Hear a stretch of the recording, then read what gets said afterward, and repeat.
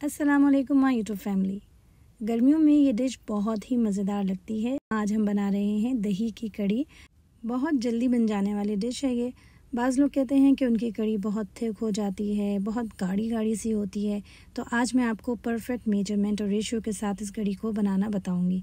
तो चलिए हमने इसको आज किस तरह रेडी किया है आपके साथ शेयर करते हैं। इंग्रेडिएंट आपको स्क्रीन पे नज़र आ रहे हैं। यहाँ पे हमने लिया है योगर्ट दो कप उसके साथ ऐड करते हैं बेसन, आधा कप।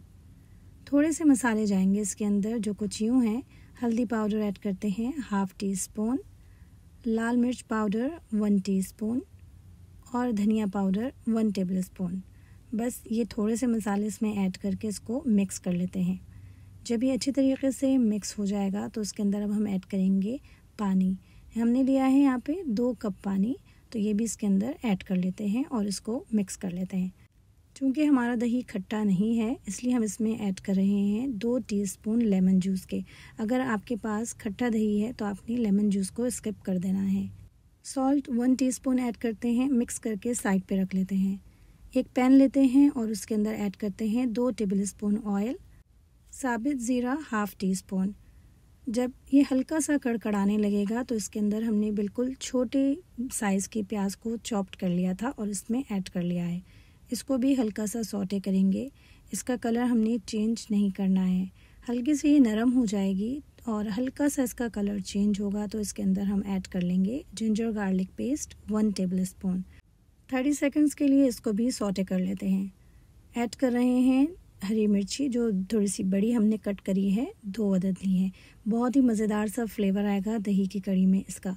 बस इसको भी हम बिल्कुल 20 सेकंड तक के लिए सोटे कर लेते हैं, ताकि ये हल्की सी नरम हो जाए। बेसन और दही का जो हमने लिक्विड रेडी किया था, वो अब हम इसमें ऐड कर लेते हैं। डायरेक्ट ऐड नहीं करना है स्ट्रेनर की मदद से तमाम लिक्विड को स्ट्रेन कर देना है, ताकि जो लम्ब हैं वो ऊपर रह जाएँ, कड़ी के अंदर ऐड ना हो। तो इससे ये होगा कि कड़ी का टेक्सचर जो है बहुत ही स्मूथ सा बन के रेडी होगा। इस ट्रेनर में जो लम्स हैं, इसको अब हम डिस्कार्ड कर देते हैं। दो कप पानी ऐड करेंगे मिक्स करेंगे और फ्लेम को हमने रखा है मीडियम से लो और इसको अब हम पकने देंगे। तो जब तक ये पक रही है तो चलिए जल्दी से पकोड़े रेडी कर लेते हैं।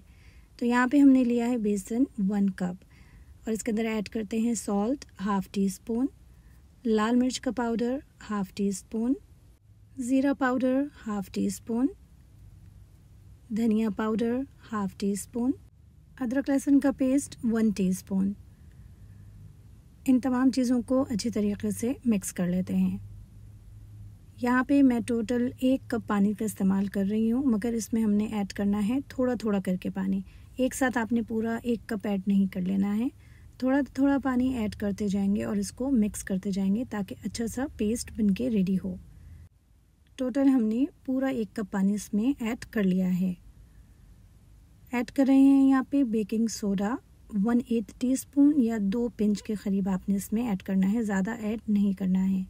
साथ में हमने प्याज को कट कर लिया था। चॉप्ड की हुई प्याज आधे कप ली है और साथ ऐड किया है हरी मिर्ची, जो तकरीबन दो हैं और इसको भी हमने चॉप्ड कर लिया है बारीक सा।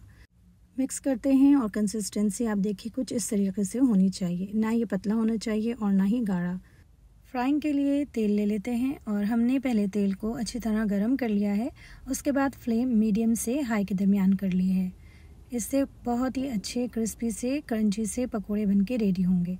आप चाहें तो हाथों की मदद से भी पकौड़ों को इसमें ऐड कर सकते हैं। तो एक तरफ़ से अच्छा सा गोल्डन कलर आ गया है। अब हमने इसकी साइड को चेंज कर लेना है और इस तरफ़ से भी हम सेम कलर का कुक कर लेंगे। जब भी आप पकोड़े रेडी करें, उसमें बिल्कुल थोड़ा सा बेकिंग सोडा ऐड किया करें।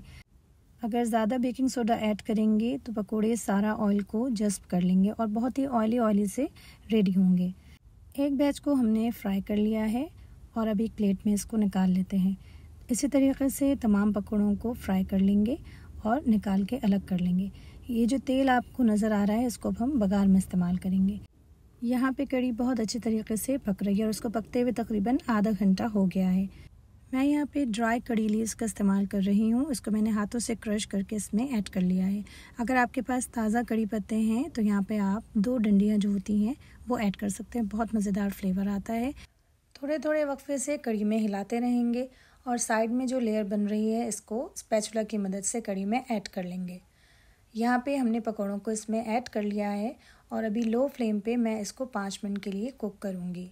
इस स्टेज पे कड़ी की कंसिस्टेंसी थोड़ी सी पतली होनी चाहिए, क्योंकि पकोड़े अभी पानी को जज्ब करेंगे। तो अभी ये लाइट वेट की है, थोड़ी देर में ये थोड़ी गाढ़ी सी हो जाएगी। यहाँ पे फ्लेम को ऑफ़ करते हैं और जिस तेल में हमने पकोड़ों को फ्राई किया था, उसमें से थोड़ा तेल ले लेते हैं, तकरीबन वन फोर्थ कप के करीब। यहाँ पे हम स्लाइस्ड गार्लिक ऐड कर रहे हैं, जो तकरीबन एक से दो टेबल स्पून है, जितने आपको पसंद हो आप इसमें ऐड कर सकते हैं। हल्का सा सोटे करेंगे कलर चेंज हो रहा है। ऐड कर लेते हैं हरी मिर्ची जिनको हमने बारीक कट कर लिया था दो अदद। तड़का लगा रहे हैं, इसलिए हमें चाहिए cumin seeds one teaspoon mustard seed one teaspoon यानी जो राई दाना होता है, और सूखे मिर्चियाँ चार से पाँच अदद। यहाँ पे हमने कड़ी पत्ते के तकरीबन दस से बारह पत्ते ऐड करे हैं, और इसको बस हल्का सा सोटे करना है, और फिर इसका फ्लेम बंद कर देंगे। अब इसको ऐड कर लेते हैं कड़ी के अंदर। बहुत ही मज़ेदार सी बन के ये रेडी हुई है और जो तड़का है, इसको जो है बहुत ही फ्लेवरफुल बनाता है। तो बस इसको हल्का सा मिक्स करेंगे और अब हम कड़ी को तकरीबन थर्टी मिनट्स के लिए छोड़ देते हैं।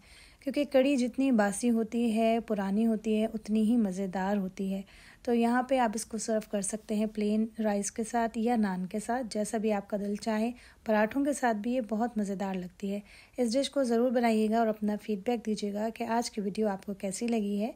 वीडियो अच्छी लगी है तो लाइक कमेंट शेयर करना ना भूलिए। चैनल पे नए हैं तो चैनल को सब्सक्राइब कर लीजिए। इन आपसे नेक्स्ट वीडियो में किसी अच्छी सी रेसिपी के साथ मिलते हैं। अनटिल देन अल्लाह हाफिज़।